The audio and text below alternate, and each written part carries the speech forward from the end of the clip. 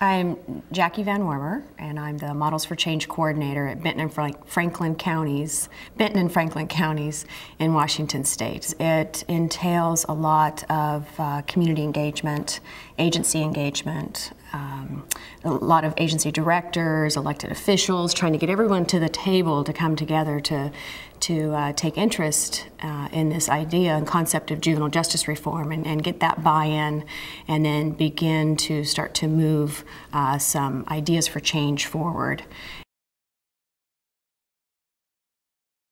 For example, when you're talking about disproportionate minority contact, you know that it, that's a hard um, sell for some of uh, the agencies that we are involved with, and and we've tried very hard not to make this a finger pointing exercise. We've tried to just bring everybody to the table to focus on on solutions because um, if you sort of digress to that level, I think it's hard to to move things forward. So it, you know, it's just creating those partnerships. Some of that's just really taking the time to do those individual meetings with some of those people that are a little bit cautious or not quite sure.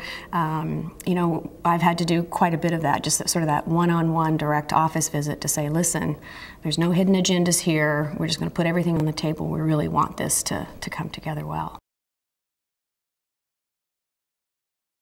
I think that not only have we focused on trying to bridge that gap between, you know, academia really has sat over here and the courts and process over here, there's really never been that blend. But I think that the groups that we're working with through the University of Washington and through Washington State University see that need too, uh, to really do a better job at the practitioner level. Um, providing practitioners with better information, more, more practical information that they can use um, on the ground. And so I think that that's part of it, you know, the, the, availability of getting to work on, on some data and on some innovative projects and the idea of getting to totally look at all the literature and say, okay, this worked here over, you know, in this state, maybe a, in this project, and maybe this, that would work, a piece of that would work here. So helping us just to formulate ideas and, and help the, the data drive the decision making.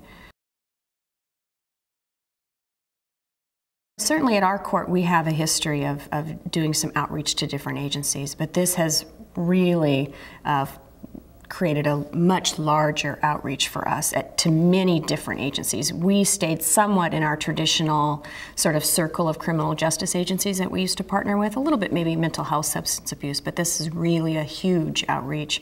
It's also allowed us that partnership with our, you know, our academic groups, University of Washington, Washington State, and as I mentioned, we have some incredible National Resource Bank members that we work with. For example, the Vera Institute's been very helpful with their data analysis and also helping us do some strategic planning around truancy reform.